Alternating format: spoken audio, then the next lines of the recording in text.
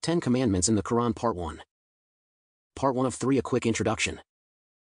Description, a review of what are the Ten Commandments and their place in Jewish, Christian, and Islamic faiths.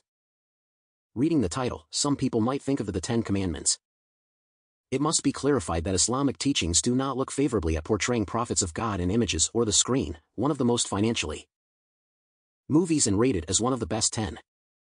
Or the title might stir the memories of the national debate of putting the Ten Commandments on public property in use in public schools that ended in the Supreme Court in 2005.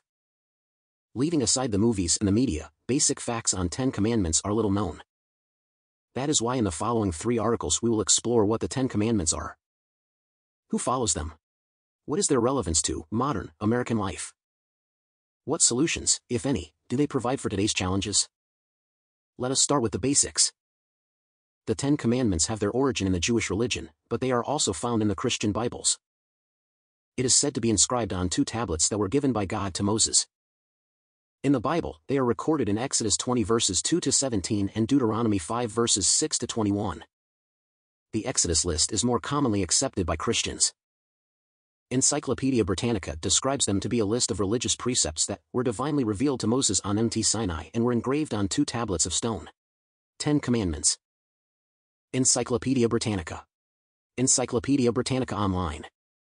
Encyclopedia Britannica Inc., 2012. Web. January 10, 2012. Judaism teaches that the first tablet, containing the first five declarations, identifies duties regarding our relationship with God, while the second tablet, containing the last five declarations, identifies duties regarding our relationship with other. Catholics believe the Ten Commandments are precepts bearing on the fundamental obligations of religion and morality and embodying the revealed expression of the Creator's will in relation to man's whole duty to God and to his fellow. The Hebrew, Protestant, and Catholic versions differ.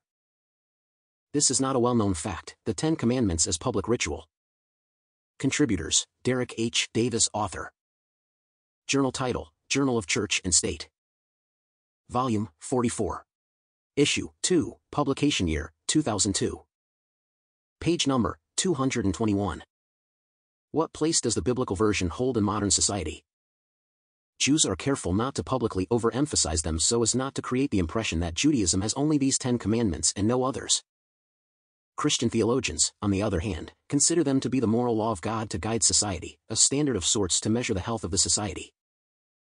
As a result, what place, if any, should these commandments hold in modern Western, secular societies is a hotly debated subject. Should they be part of public schooling? Can they be displayed in public?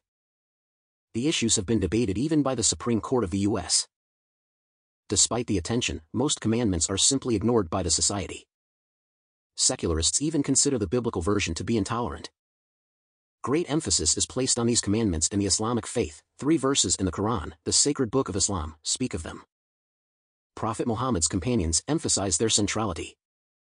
The Quran speaks of them in Surah An'am, 6 151-153 and Surah Isra, 17 23-39. Surah Isra, 17 23-39 is like a commentary on the commandments listed in Surah An'am.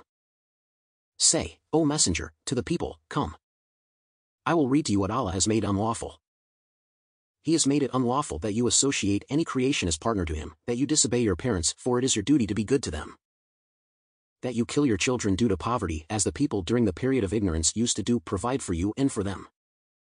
He has also made it unlawful that you go near immoral acts, whether they are done openly or in secret, and that you kill the soul that Allah has prohibited you from killing, unless it is done rightfully, such as in the case of adultery and apostasy. He has instructed you with what was mentioned so that you understand Allah's instructions and prohibitions. He has prohibited you from becoming involved with the wealth of orphans, those who lose their father before maturity until they became mature and are considered to be sensible. Unless you do so in a manner that brings benefit and an increase in that wealth he has also prohibited you from giving short measure or weight, rather, it is necessary that you are fair and just when taking or giving anything in a purchase and sale transaction. He does not burden a soul more that it can bear, and you will not be taken to ask for any increase or decrease in measure that is unintentional. He has, likewise, prohibited you from saying that which is false when relating an incident or giving testimony, displaying unfair preference to a relative or friend. He has, too, prohibited you from breaking Allah's pledge. If you make a pledge with Allah or in Allah's name, then such pacts must be fulfilled. Allah has instructed you with the above in the hope that you would ponder over the outcomes of your actions. He has prohibited you from following the paths of misguidance. You are required to follow Allah's straight path, in which there is no crookedness. The paths of misguidance will lead you far away from the path of truth.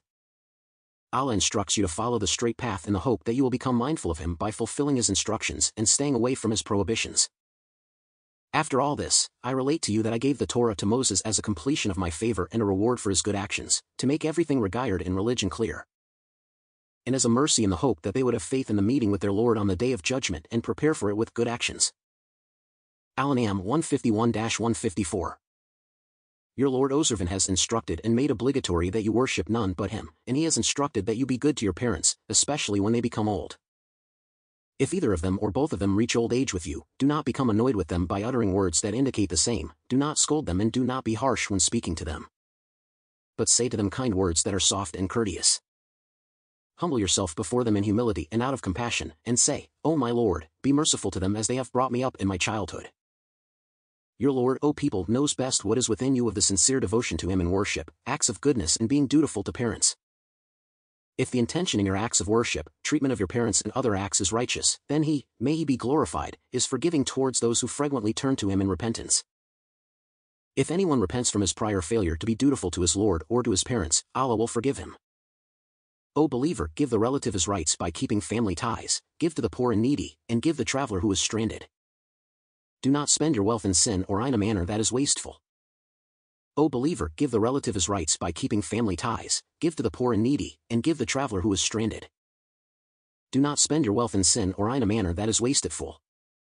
Those who spend their wealth in sin and those who are wasteful in their spending are the brothers of the devils.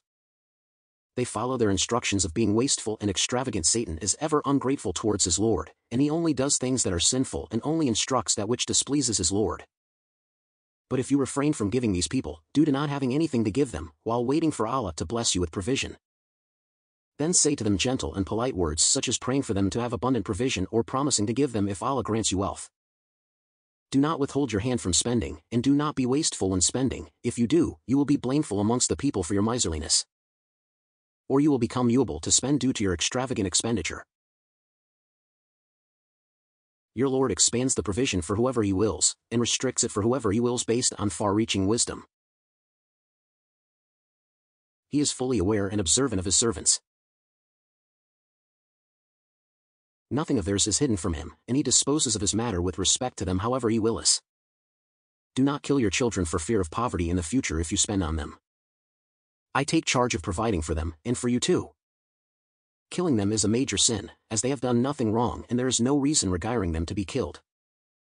Be careful of fornication and avoid things that prompt it. It is extremely detestable and bad path to traverse as it leads to the mixing of lineages and punishment from Allah.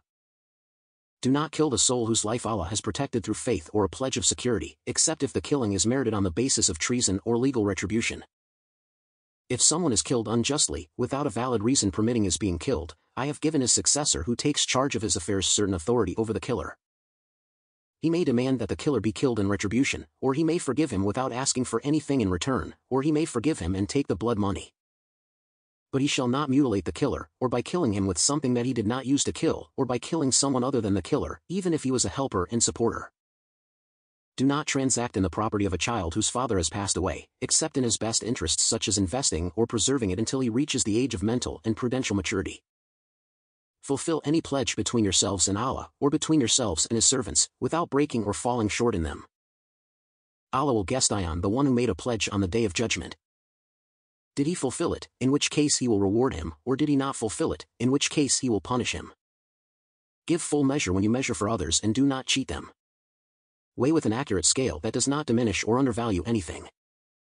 That giving a full weight and measure is better for you in this world and the hereafter than giving short measure or weight do not follow O of Adam that which you have no knowledge of, by following suspicions and conjecture. A person will be questioned about the good or bad that he used his hearing, sight and heart for and he will rewarded for the good and punished for the bad. Do not walk on earth with pride and arrogance. If you walk haughtily on earth you will not be able to split the earth, nor will your stature reach the mountains in height and elevation. Why then are you so proud? The evil of all that has been mentioned above is prohibited by your Lord O man. Allah is not pleased with those who perpetrate this and he in fact detests them. Those instructions, prohibitions and laws that we have explained to you are part of what your Lord has revealed to you. Do not take O man another deity together with Allah, for you will be thrown into hell on the day of judgment, blamed by your own soul and by people and banished from every good. Al-Isra, 23-39 Some scholars call them the verses of the Ten Commandments simply because they speak of ten significant commandments to be observed by a Muslim. The Quran does not directly state that these are the same commandments that were given to Moses. Ibn Masudi, a famous companion of Prophet Muhammad said, Tirmidhi, Whoever wishes to ascertain the will of Prophet Muhammad on which the Prophet has put his seal, let him read the statement of God, and then he recited the three verses. The Prophet of Islam himself said, Who among you will give me his pledge to do three things? He then recited the verse 6. 151 and continued, Whoever fulfills this pledge, then his reward will be with God, but whoever fell into shortcomings and God punishes him for it in this life, then that will be his recompense. Whoever God delays, his reckoning, until the hereafter, then his matter is with God. If he wills, he will punish him, and if he wills, he will forgive him. Hakim said, It's chained to Sahih and they did not record it. Islamic view, these commandments contain what God wills for the life of all people. It has five orders and a similar number of prohibitions that define the relationship of man and his creator, man's obligations to his family, and commandments that order his social life. What follows are the Ten Commandments of Quran and their relevance to modern life.